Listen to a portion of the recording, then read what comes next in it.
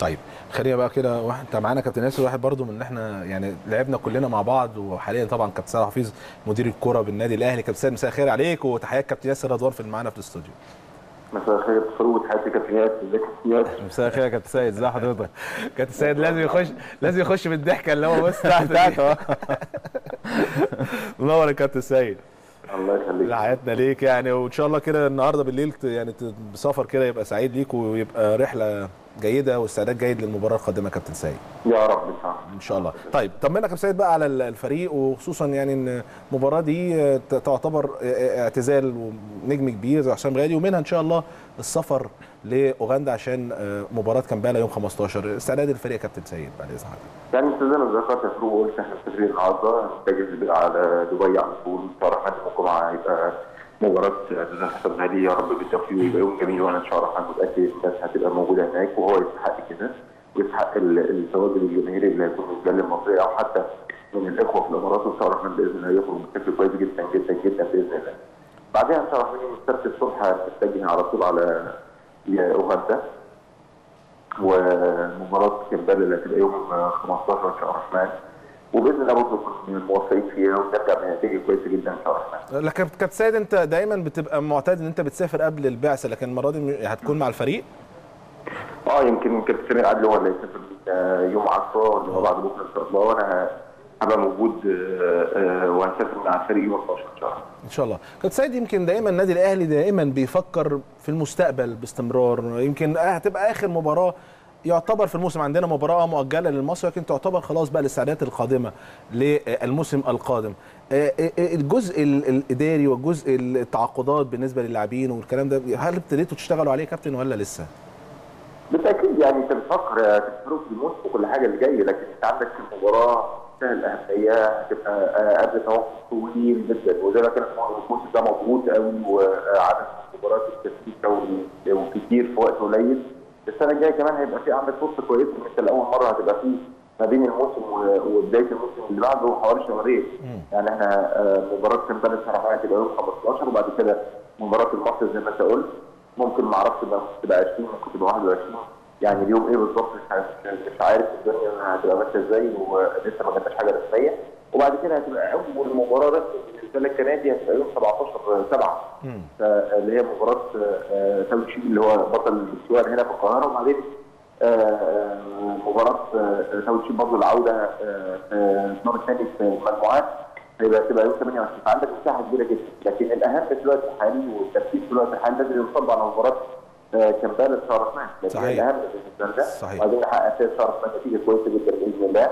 طبعا مشوار دوري المجموعات مشوار طويل أو افريقيا بتتاخد على مراحل ويهمك إن أنت تجميع النقاط والامر لسه آه، قدامه مسافة لكن النتيجه دي إن شاء الله تساعدنا باذن الله حقيقه يا كابتن مباراة مباراة مهمة يعتبر بعد التعادل أمام الترجي هي مباراة هي الأهم عنق زجاجة لفريق النادي الأهلي أو مشوار طويل لكن ثلاث نقاط أو نتيجة إيجابية في التوقيت ده أو في المباراة دي هي هي مباراة. هي مباراة مهمة طبعا يا فاروق هي مباراة مهمة مباراة مهمة في توقيتها ومباراة مهمة قبل آه، التوقف لكن التو... ال- المباريات أو دوري المجموعات لسه قدام شوية يعني قدام شوية. طبعا. انت عندك بوتشواري هنا وهناك وبعدين الترجي هناك. وبعدين آه، كمبالا هنا. فالموضوع مش يعني موضوع آه، حاجة آه، آه، آه، آه، يعني فاصلة هي مش مباراة فاصلة طبعا لكن مباراة مهمة جدا.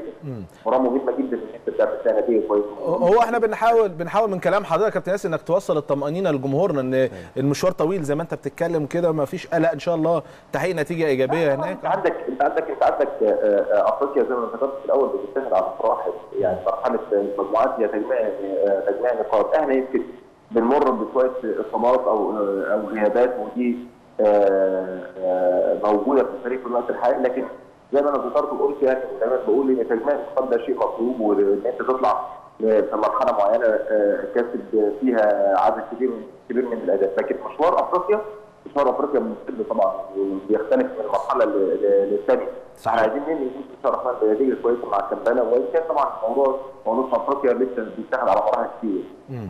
طب كابتن سيد مجموعة الإصابات اللي حضرتك اتكلمت عليها طمنا عليهم برضو يا كابتن سيد عشان نطمن جمهورنا برضو. طبعا يعني أنت اجاي ووليد ازارو صعب جدا خلاص يعني الموضوع كموسم كمان آه، آه، انتهى.